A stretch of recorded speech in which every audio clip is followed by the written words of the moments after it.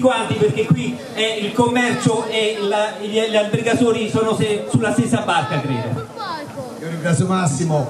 al di là della conversazione, io credo che oggi è la città che deve dimostrare questo autogol turistico, per cui al di là di chi ci farà credere in futuro